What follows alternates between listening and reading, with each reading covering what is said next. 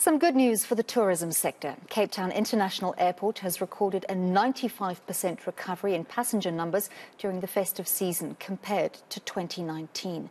That's according to preliminary stats from Airports Company South Africa. To break down the numbers for us, let's bring in Mireille Wenger. She's the Western Cape MEC for Finance and Economic Opportunities. MEC, thank you so much for your time this morning. Um, I know pre prior to the festive season, we were expecting jam-packed flights um, with extremely high demand and certain constraints on availability of flights. What do the numbers tell us about how this festive season did compared to previous years in terms not only of um, air travel but of tourism in general? Thank you. Well, after some very grueling COVID years, we're absolutely delighted with the spectacular tourism recovery uh, the preliminary numbers from the Airports Company South Africa shows that for international visitors, uh, in December alone, uh, we had around 270,000 two-way international visitors, and about um, which which is about a 95% recovery. And in the domestic um, two-way passengers, we're seeing about a 72% recovery. And all in all, for 2022, we're expecting that to add up to about uh, 8 million two way passengers for Cape Town International Airport. Certainly great numbers uh, for the city.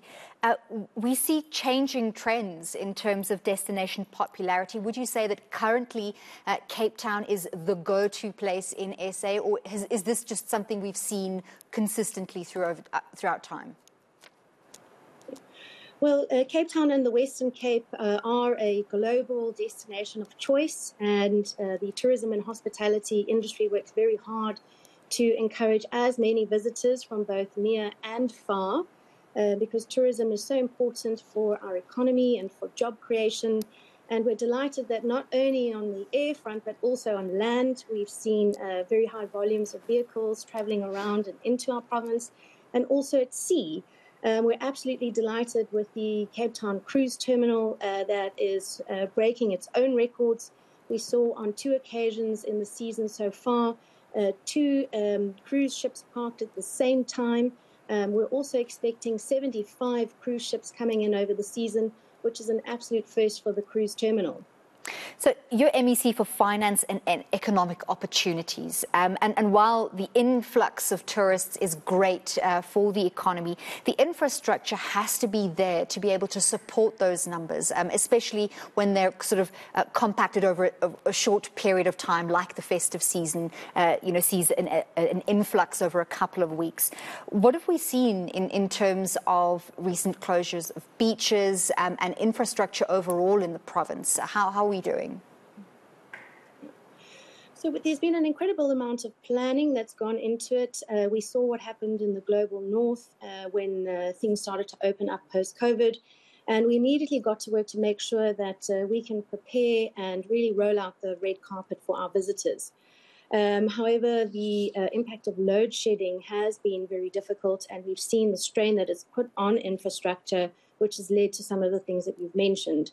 Um, and so, certainly from a provincial side, we're working very hard uh, to make sure that we can mitigate the effects of load shedding as far as possible to make sure that our infrastructure uh, can maintain its normal operations, uh, which it would uh, normally be able to do were it not uh, under the pressure of severe load shedding.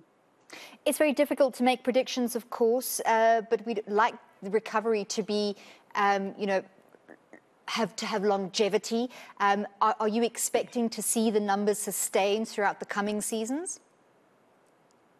Yeah, so what we're working, what we'd really like to see is not only recovery but growth, uh, and we think that our destination has a lot of potential to grow.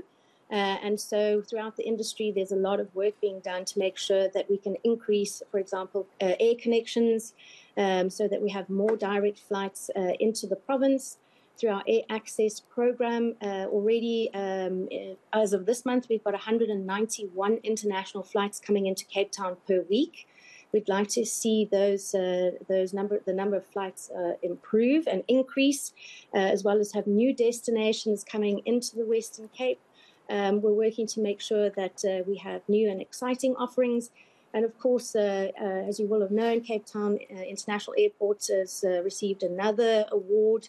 Uh, not only is it the best airport in Africa, but it's now also in the global top 20 for punctuality.